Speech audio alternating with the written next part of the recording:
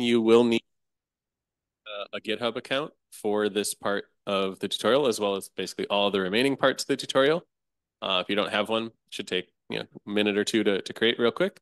And second, if you don't have the Wi-Fi set up on your laptop and you want to follow along with the interactive examples, I would encourage you to get that set up right now. I can come around and help folks do that uh, while Jason's talking if needed. But uh, otherwise, I'm going to turn it over to Jason and he's going to talk about the standard library and getting started with Gem 5. So take it away, Jason. Okay, great. Thanks, Matt. Um, so first of all, I want to say sorry that I can't be there. Um, there was all sorts of travel issues, um, and it ended up being just like no way to get there uh, so I can present. Um, so uh, here I am uh, presenting virtually instead. Not ideal, but best of some bad situations. Um, okay, so what I'm going to be talking about is getting started with Gem 5 first, and then we'll start talk about the standard library. So in this section, basically what we're going to do is get code spaces going and do our first uh, simulation. Okay, so we're going to talk about how to obtain Gem 5, how to build it, and then we're going to do a simple simulation. Um, yeah, so getting Gem 5 and compiling Gem 5 is often not the easiest thing to do. Um, but uh, you know, we'll go through this one at a time. Sorry, apologies. I'm playing with my Zoom. Okay, so here we go. So normally, don't do this, but normally, um, what we would do is do git clone of Gem5, cd to Gem5, and then build it. Um, but we're going to be using code spaces, which has already done this for you, which we'll see in a second. So one quick note on Gem5's um, uh, code base. So we use stable as the default branch. So stable is the current release of Gem5, which as of yesterday is v24.0. If you're developing on Gem5, as in you want to contribute your changes back to the Gem5 community, we use the develop branch between each release. Um, so develop is where new features are uh, first added and tested, improvements to the code, bug fixes, etc., go and develop. And then once every three to six months, we merge develop into stable and have a release. Um, so as I said, we're going to be using code spaces, so you don't need to do this right now, which is what that says. Okay, so we're going to be using the uh, bootcamp environment uh, for this. So step one, go to this link that's on the screen. I'll leave this up for a minute. Um, as you do this, it'll probably take logging into GitHub, maybe logging into GitHub Classrooms. Um, and we you need to do this so you can be in our GitHub organization, which then allows us to use the free code spaces. So I'll leave this here for a minute. And I'll uh, I'll walk around and help if anybody needs help now. So just uh, just raise your hand if you're having any problems.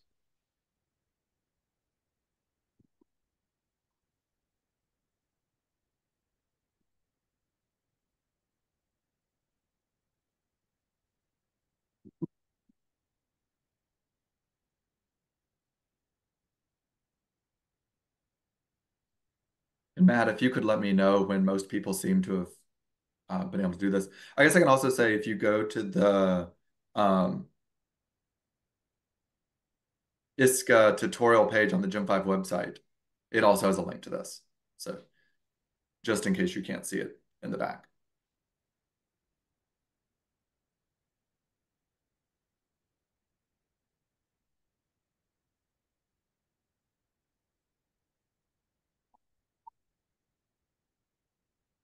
So I would say at least a few people need a minute, Jason.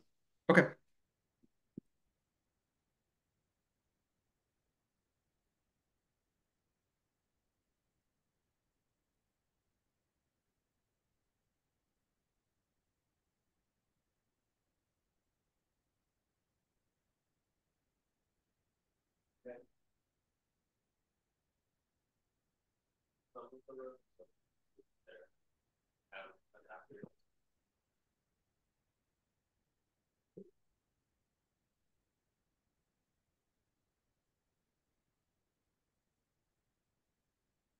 So it looks like maybe all but one or two have it set up. Jason, does anybody in the room want or need another minute to get set up?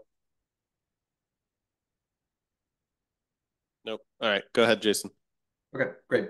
So now that you're in the organization, um, so after you join the classroom, go to this page on GitHub, which is also linked um, on the website, and click on code, and then click on this plus sign to create a new code space. You might have to click on the code spaces tab as well. Um, or you might be able to just click on this button down here, create code space on main. Um, so I am going to do that as well. So I'll leave this up for a minute so you can grab that link.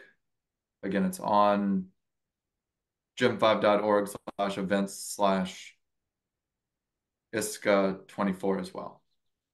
Um,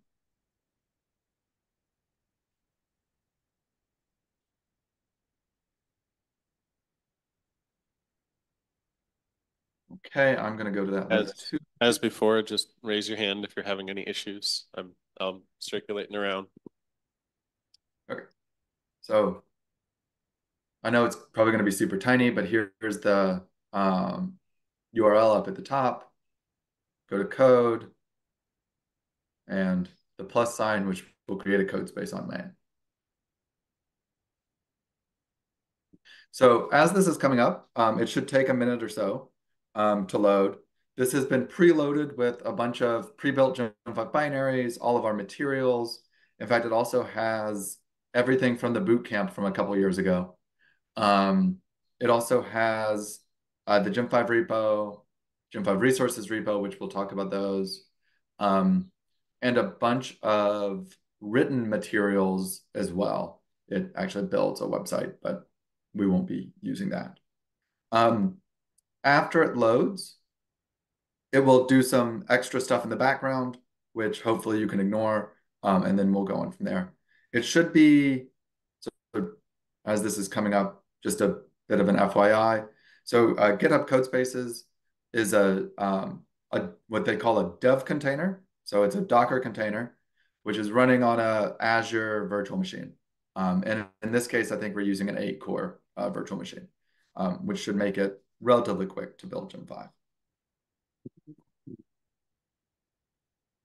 We're using a pre-built, so it shouldn't take too long to build the code space, but this is taking longer than I expected.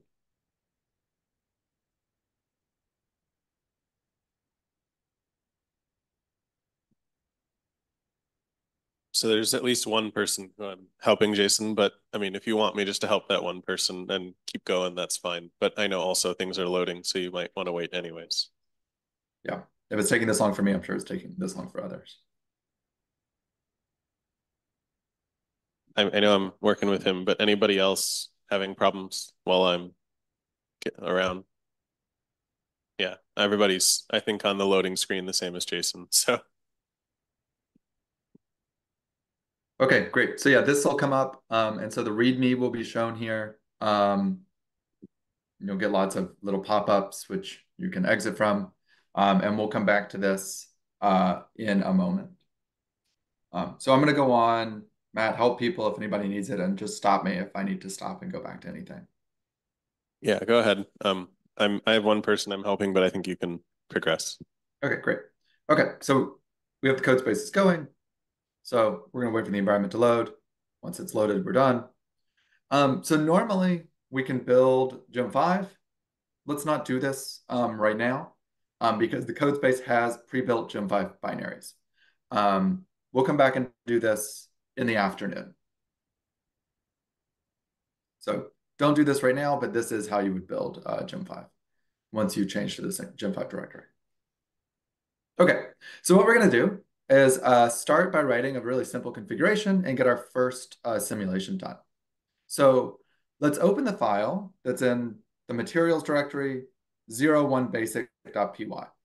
Um, so you'll see these imports are already done for you, and we're going to write a quick um, uh, Python script to configure Gem5. Okay, so as we're opening this, so we're, we're in the materials ISCA directory, which I don't think was on the slide. Um, let me make this a little bit bigger for you.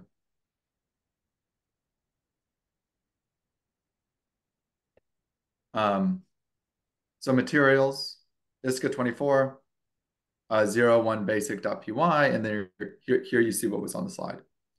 Um, so yeah, as Matt mentioned at, at the beginning, you know, Gem5 is controlled by Python. And so what we're going to do is use these um, uh, standard library components, the x86 demo board and the simulator, um, to run, to configure Gem5 and run an example simulation. Um, another thing I'll mention is in this completed directory is all of these scripts that are in their completed form. So if I go too fast, you can always grab um, the stuff from the completed directory. Um, also, actually, I'll just turn this off. Um, see if I can, I'll disable GitHub Copilot for now. Um, if you haven't used GitHub Copilot, it's great though. Okay, so what we're going to do is we're going to create a board. Um, so we are going to use the x86 demo board um, as our board. So I'll talk about this in a minute. Um, but you can think of this kind of like the motherboard in your computer. This is where all the components go. And the x86 demo board is fully populated um, and ready to simulate. This is actually going to do a full system simulation. So then we're going to do board.set workload. So we're going to essentially plug a workload into this board. And in this case, we're going to obtain a resource from Gem5 resources. And we are going to use the x86 Ubuntu 2404 um, hey, hey, Jason, just for a heads up, um, for a lot of people, it's still loading. I don't know if you want to like give it a minute or what we want to do, but just letting you know. Okay. Um, yep, we can pause for a minute. Um, one thing I'll say is make sure you do that code space when you create the code space. Make sure you do it from this um, repository. Do not use the repository that was cloned by the classroom. This repository, the Gem5 ISCA tutorial, um, Gem5 bootcamp environment, this has pre-built containers, so everything loads a lot faster. So yeah, at least for the the folks I'm helping, Jason, they've created the code space like that has a you know a name or whatever, and when they click on it, then it just says connecting. So for whatever reason, it's going much slower here. Okay. Um, just to double check, it's in this, like, like, it will definitely take a really long time if you do it in the other repo. Um, but it should be quick in this repo. So Matt, Matt P is going to look with him while I work on helping someone else. Okay. I'm going to go ahead and finish typing this out um, so we can run the simulation and see what happens. Uh, but I will not go further than that until people have caught up. So now that we have a board um, and we've set a workload, we are going to create a simulator.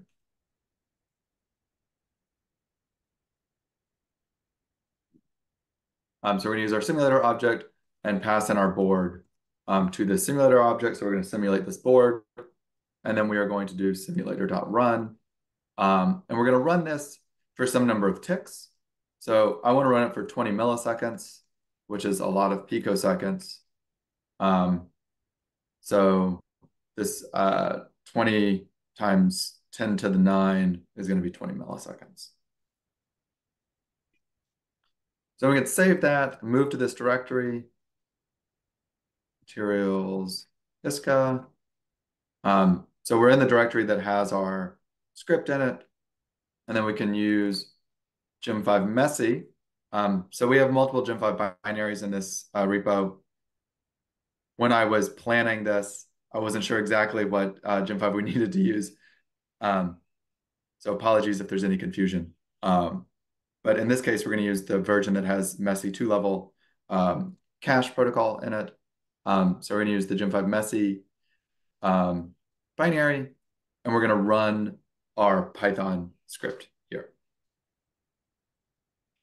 So essentially, the Gem5 binary is a Python interpreter. So you pass a Python script to the Gem5 binary, it executes it. So it's going to execute the code that we have up here. Um, and then we'll see our simulation. How are things going there, Matt? Um, there's at least a couple people who are still having some problems. At least in one case, I'm trying to look up your a few slides ago because they the code space says there's no code spaces available. So I'm not sure if they clicked on an incorrect button. I'm trying to. So um, if you go to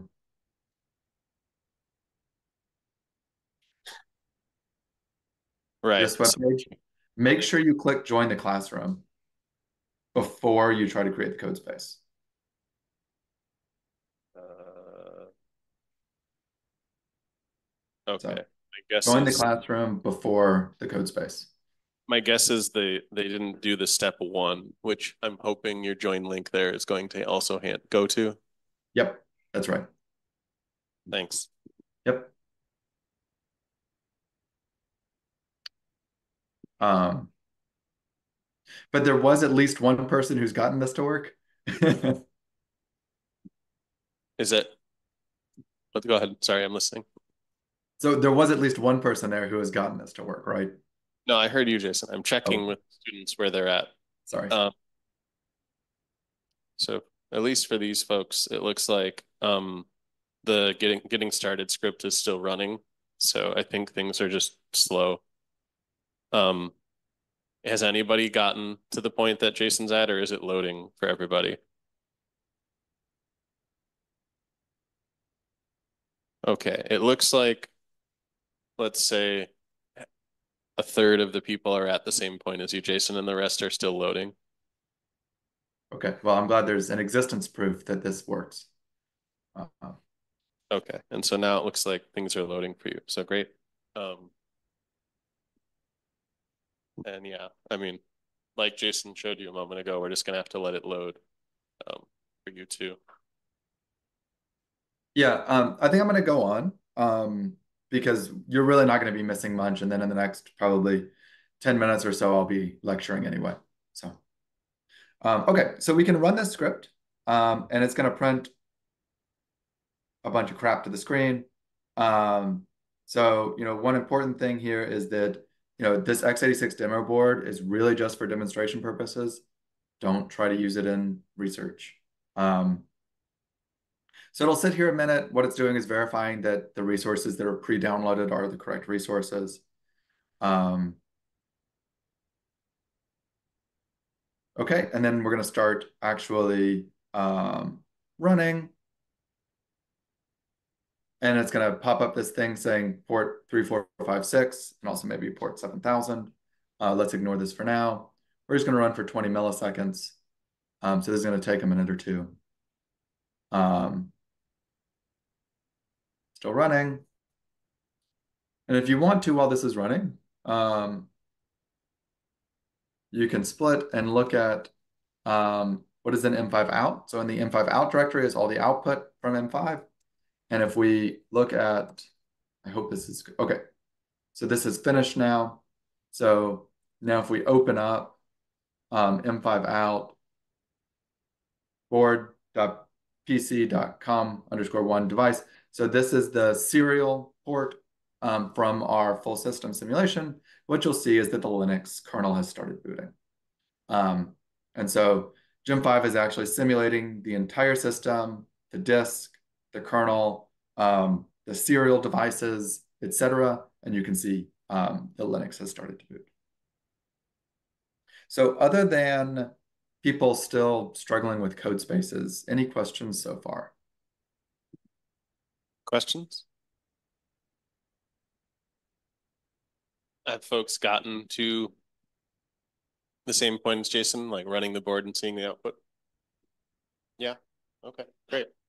Okay, and as I said, I think we'll have a few minutes before we have to get back to uh, doing that again. Um, okay. So as I said, we did this x86 demo board. The demo board has a single channel of memory for, excuse me, four three gigahertz processors, a two level cache hierarchy, and it runs this full system. Um, if you want to see information about where this demo board came from, I'm pretty sure in the code space, you can simply right click on this and say, go to definition, and it will take you to it, um, which is in the source Python Gem 5 pre-built demo directory.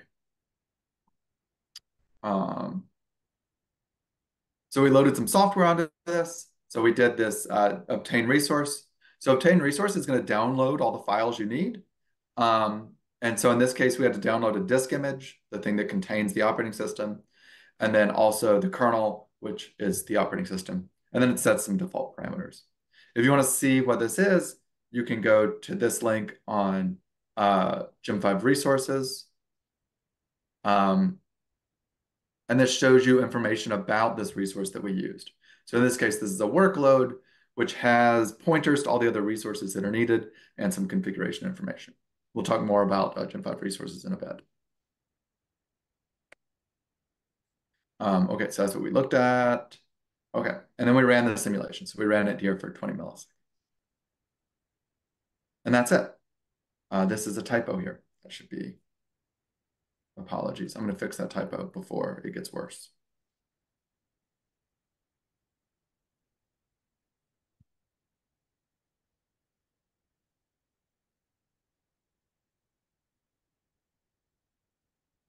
Okay.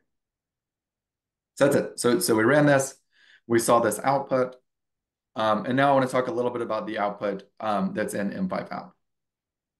So we saw the terminal output, um, which is showing that Gem5 is actually booting Linux. Another thing that's in that M5 out directory is the config.ini and the config.json file. So these two files, um, the ini shown on the left and the JSON shown on the right, are the same thing in two different formats. And it's a record of what you simulated.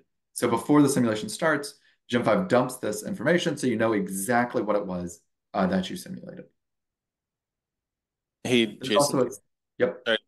Um, so some of them have your basic.py, O1 basic.py, and they click the run button, and it's returning an error saying um, no module named Gem5. So so, they need folder? That's a great question. Let me bring that up. So we probably could do this, but we haven't. So, so, so don't create, click this run button this Python file, while it is Python, we are using this Gem5 um, module, which is only in the Gem5 binary. So when you run it, you have to run it with the Gem5 binary. So up here at the top, it says run with Gem5 MESI 01 dot uh, basic uh, 01 basic dot py. So this Gem5 binary or Gem5 in general is a Python interpreter.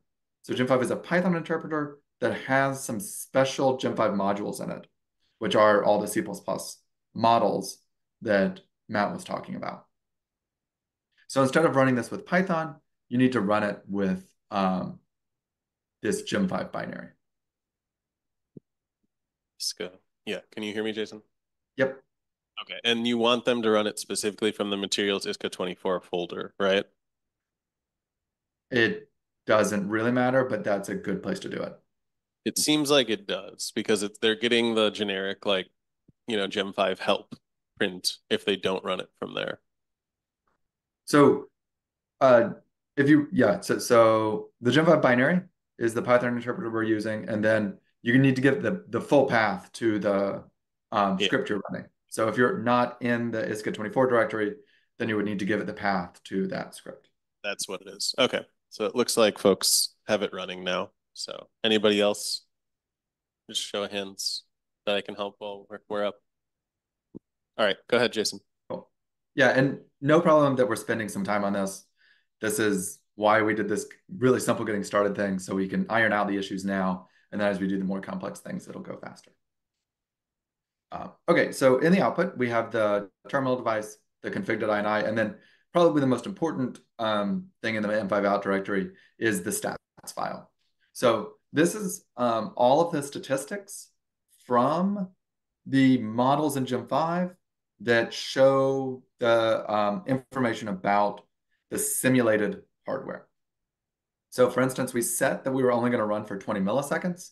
And so you see the sim seconds here is exactly 20 milli, uh, 20 milliseconds. Um, then like some other information, you know, we executed, what is that, 7 million instructions on this. Um, and then there's some host information, like host seconds, which is how long it actually took to run on the host. And then after this, you'll see this file is very, very large. We have lots and lots of statistics. Um, and we'll look at some of them um, as we go through uh, some other examples. Okay, so that's it uh, for getting started. Now we're going to jump into the uh, standard library. But before I do that, any other questions or anything uh, so far? So I know there's at least a couple of you that the code space is still loading, but otherwise, has everybody everybody else been able to get to this same point? Or show of hands if you need any help. Okay, and for those the two of you who I know it's still loading, um, maybe just skip that first example and we can just start with the second one in your case. Yeah, and as I mentioned before, all these are completed in the completed directory. So if you miss something, you can always just see what's there.